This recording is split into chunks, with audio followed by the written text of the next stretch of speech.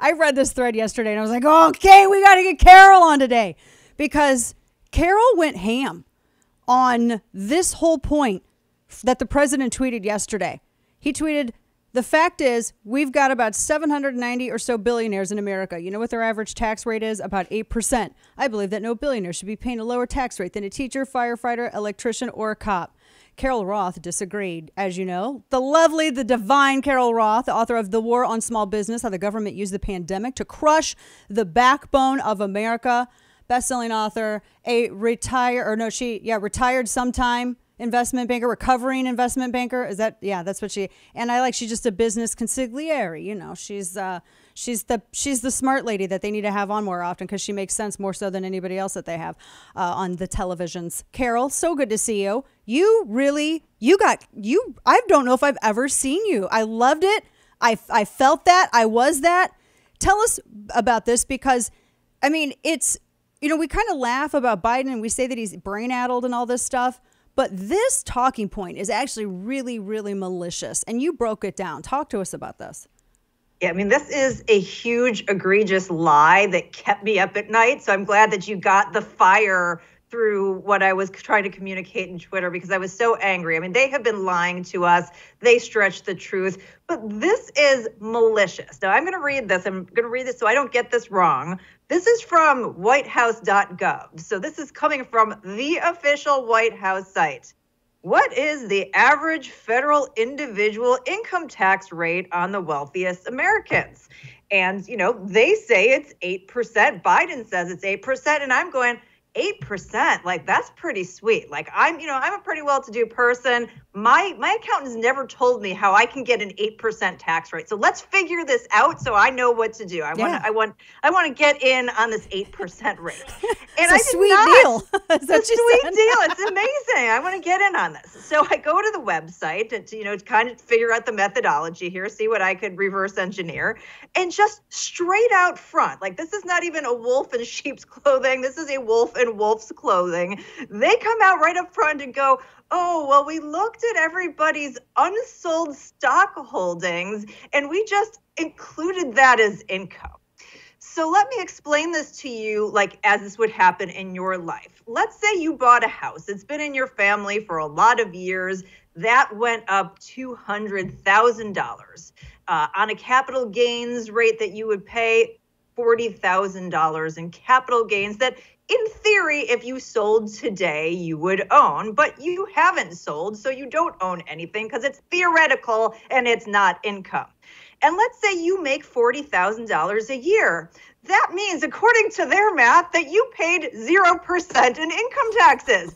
This isn't a thing, Dana. This is completely a lie. And they are doing this because they want people to be mad and to go, yes, we need to tax the billionaires more. We need this wealth tax so they can come after you. Because guess what? The billionaires have made their money. They're going to find a way to put it in a trust or take it overseas or whatever. And you know who's going to have opened that door and whose money they're coming after next and whose household wealth they're coming after and generational wealth and all of that 401ks yours this is nefarious this is horrible this is a horrendous lie and the fact that nobody in mainstream media has called this out. This has been up there, by the way, since September of 21. I only noticed it because Biden uh, tweeted about it the other day, but nobody's called them out. And Twitter, uh, we had a bunch of people report it, and they said, nope, that's not misinformation. So apparently, misinformation isn't a lie, it's just stuff that disagrees with the narrative. Oh my gosh, that's total misinformation.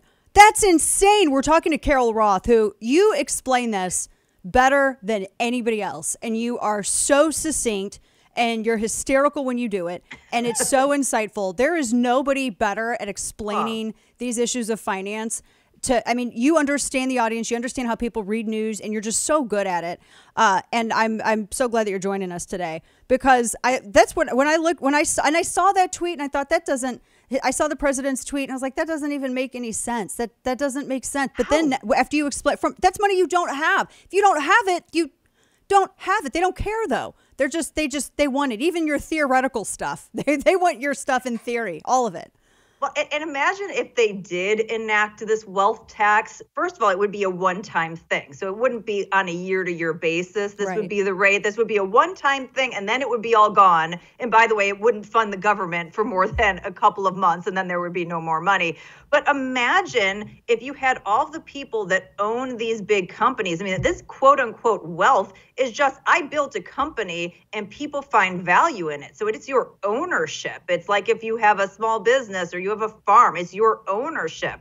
So if they forced all the wealthiest people to liquidate the ownership of their businesses, not only would they no longer own their businesses, but the downward pressure that that would have on the stock market 401k plans, the pension funds of those teachers and policemen and firemen. It, the whole thing, the whole house of cards that we have, that's the only thing that is holding the house of cards together, and it's not doing it real well, Dana. So it's the only thing we have, and they want to get their grubby paws on that too, because, you know, collecting four plus trillion dollars from us a year isn't enough. Yeah, record high tax revenue that the government has been collecting. Talking to the lovely, the brilliant Carol Roth on this, uh, the president's 8%. They only paid 8% income tax rate.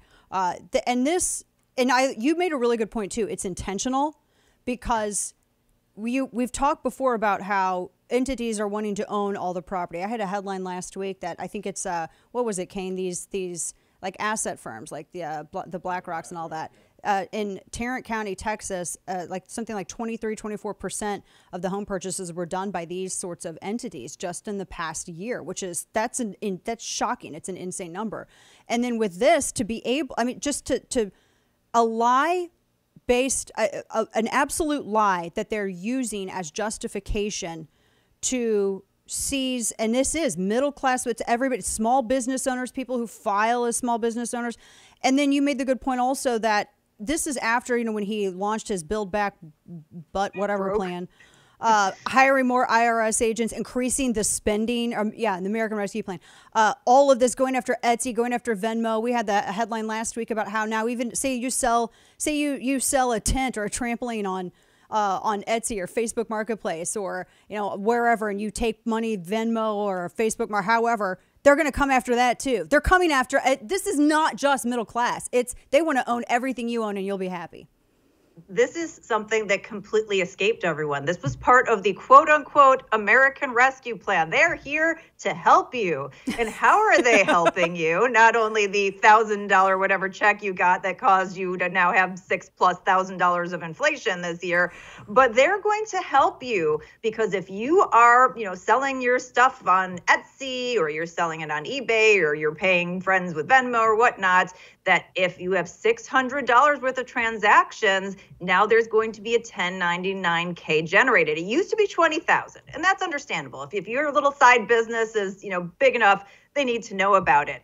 But what this does, and not to say that you didn't owe the taxes before, because if you made legitimately $600, you would, but imagine it's something you don't own taxes on. I'm just paying you back because, you know, we went out to dinner, you paid for a party we were throwing together, whatever it is. Now this 1099K is out there and you don't report it. So there's a flag and now you get audited and you have to come up with the justification and incur the time and the expense to justify this. They don't want to hire 87,000 IRS agents to go after the 790 billionaires they told you. They don't need that many to go after the billionaires. This is all about coming after you. And it's so amazing. The Democrats have gotten away with saying they are the proponent of the little guy, of the working class, of the middle class. Well, guess what? That's a big fat lie, just like that 8%. Golly, Carol Roth this is uh, I loved I loved the thread and I loved because you did uh, you've written some great pieces. You also were talking about the uh, poll. There was a couple of different polls. There was a survey about why Americans nobody feels good about the economy. Everything's horrible. Everything sucks. It's the summer of suck. Gas is expensive. Eggs are 32% more expensive now than they were, you know, a year ago. There was a kind of a joke story out that, well, soon it'll be $5 an egg. Who knows? Maybe it will. Nobody knows. But apparently the left and the media, particularly the media, are shocked by this. They just do not understand why people. I mean, it's the best economy ever if you listen to Karine Jean Pierre.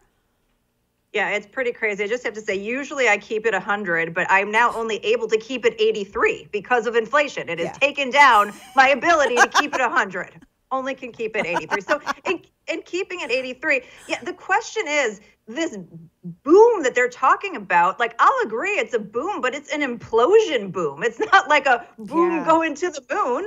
It's imploding. I mean, what is it that they think is better? They will tell you, oh, well, wages are up. Well, wages are up because of inflation, but they haven't kept pace with inflation. So, on an inflation adjusted basis, they are down. We know the stock market has imploded. Again, part of that being the Fed fault, but you know, they passed a 1.9 trillion dollar rescue plan to throw fuel onto the fire last year. That certainly didn't help the cause everything that they tell you that is better isn't. I mean, it's, it's like you know, pretty soon we're going to hear bread lines are a great way to meet your neighbors. I mean, that's the oh kind Oh my gosh, that's going to be a talking point.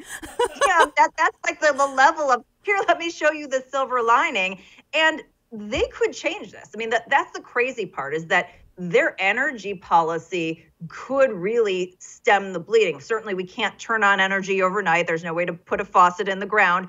But communicating to the market that we're going to go back to investing in fossil fuels alongside green policy, we need both. You know, we need all the energy we can get. Energy is a good thing. So they could do a 180 on this. They would signal that to the market. It would help take some heat off in the short term. And long term, it would shore up economic and national security. But 100% or 83% with inflation, they are not going to be able or willing to do that because that's not what they care about. They care about their talking points. They care about their, you know, basically kill America agenda. And they are not here for the middle class. They are not here for the working person. They are not here to create wealth opportunities and economic freedom for you. They want you dependent on the government so they own you. If you own nothing, they own you. And that is the plan. That's the key. If you own nothing, they own you. That's that's great. Well, the War on Small Business by New York Times best-selling author Carol Roth. Always so good to see you. I'm so happy that you're on with me today, and like and and thank you so much for your insight. You're just you're the smartest and sassiest one around. God love you, Carol Roth. Um, Always Love you back. You. Thanks, Dana. Take care.